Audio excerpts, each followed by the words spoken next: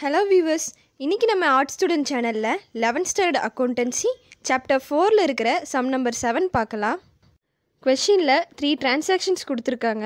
அதுக்கான Journal entry நம்ம எழுதணும். அண்ட் அதுக்கப்புறம் அதை லெஜரில் போஸ்ட் பண்ணணும். இங்கே நமக்கு கேஷ் அக்கௌண்ட்டும் சேல்ஸ் அக்கௌண்ட் மட்டும்தான் கேட்டிருக்காங்க. ஃபஸ்ட்டு நம்ம ஹெட்டிங் எழுதிக்கலாம் ஜேர்னல் என்ட்ரிஸ்னு தென் ஃபார்மேட் எழுதியிருக்கோம். Date particulars LF debit amount credit amount first transaction பார்த்தீங்கன்னா sold goods and cash receive but not deposited நம்ம கூட்ஸ் சேல் பண்ணியிருக்கோம் ஆனால் அமௌண்ட்டை செக் மூலமாக நம்ம ரிசீவ் பண்ணியிருக்கோம் செக்கை நம்ம எப்போ ரிசீவ் பண்ணாலும் அதை நம்ம கேஷாக தான் ட்ரீட் பண்ணுவோம். ஸோ என்ட்ரி பார்த்தீங்கன்னா cash account debtor thirty thousand to sales account thirty thousand narration being goods sold second one sold goods to Gopi on credit கோபிக்கு நம்ம கடனுக்கு கூட்ஸ் விற்றுருக்கோம் ஸோ இதுக்கான ரூல் பார்த்தீங்கன்னா debit the receiver and credit what goes out and entry பார்த்தீங்கன்னா Gopi account debtor twelve thousand to sales account twelve thousand narration being goods sold on credit last one received cash from Gopi Gopi நம்மக்கிட்ட இருந்து வாங்கின கூட்ஸுக்கான கேஷை நமக்கு பே பண்ணிடுறாரு. So இந்த என்ட்ரியோட rule பார்த்தீங்கன்னா debit what comes in and credit the giver entry பார்த்தீங்கன்னா cash account debtor twelve thousand to Gopi account twelve thousand narration being cash received from Gopi நம்ம ஜேர்னல் முடிச்சிட்டோம். இப்போ நம்ம அதை லெஜரில் போஸ்ட் பண்ணலாம். கொஷினில் பார்த்தீங்கன்னா நம்மளை cash account to sales account மட்டும்தான் ஓப்பன் பண்ண சொல்லியிருக்காங்க. ஸோ நம்ம அந்த ரெண்டு அக்கௌண்ட் மட்டும் போட்டால் போதும்.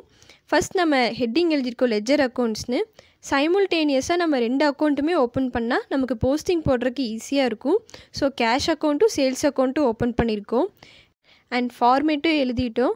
டெபிட் கிரெடிட் போட்டுட்டு date particulars JF amount date particulars JF amount first entry பார்த்தீங்கன்னா cash account debtor to sales account இங்கே கேஷ் அக்கௌண்ட் டெபிட்டில் இருக்குது அண்ட் சேல்ஸ் பார்த்தீங்கன்னா க்ரெடிட்டில் இருக்குது அப்போ நம்ம கேஷ் அக்கௌண்ட்டோட டெபிட் சைட் டேட் எழுதிட்டு டூ சேல்ஸ் அக்கௌண்ட்னு தேர்ட்டி தௌசண்ட் போஸ்ட் பண்ணியிருக்கோம்.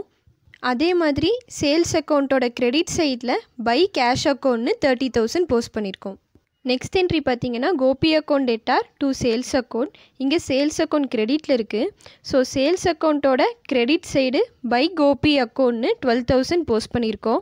Next one cash account debtor to Gopi account இங்கே கேஷ் அக்கௌண்ட் டெபிட்டில் இருக்குது அதனால கேஷ் அக்கௌண்ட்டோட டெபிட் சைட் டேட் எழுதிட்டு டூ கோபி அக்கௌண்ட்னு டுவெல் தௌசண்ட் போஸ்ட் பண்ணியிருக்கோம்.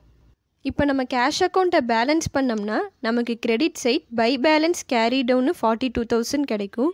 அது ஆப்போசிட் சைடான டெபிட் சைடில் ஓப்பனிங் டேட் போட்டு டூ பேலன்ஸ் ப்ராட் டவுன்னு ஃபார்ட்டி டூ தௌசண்ட் போஸ்ட் பண்ணியிருக்கோம் இப்போ நம்ம கேஷ் அக்கௌண்ட் பேலன்ஸ் பண்ணிட்டோம்.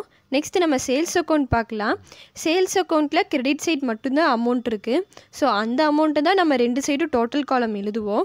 டெபிட் சைடு அதை பேலன்ஸ் பண்ணனா டூ பேலன்ஸ் கேரி டவுன்னு நமக்கு ஃபார்ட்டி டூ தௌசண்ட் கிடைக்குது. அதை ஆப்போசிட் சைடான கிரெடிட் சைடில் ஓப்பனிங் டேட் போட்டு பை பேலன்ஸ் ப்ராட் டவுன்னு ஃபார்ட்டி டூ தௌசண்ட் எழுதியிருக்கோம். உங்களுக்கு டவுட் இருந்துச்சுன்னா கமெண்ட் பாக்ஸில் கமெண்ட் பண்ணுங்கள் இந்த வீடியோ உங்களுக்கு பிடிச்சிருந்துச்சுன்னா லைக் பண்ணுங்கள் ஷேர் பண்ணுங்கள் அண்ட் மறக்காமல் ஆர்ட் ஸ்டூடெண்ட் சேனலை சப்ஸ்கிரைப் பண்ணுங்கள் தேங்க்யூ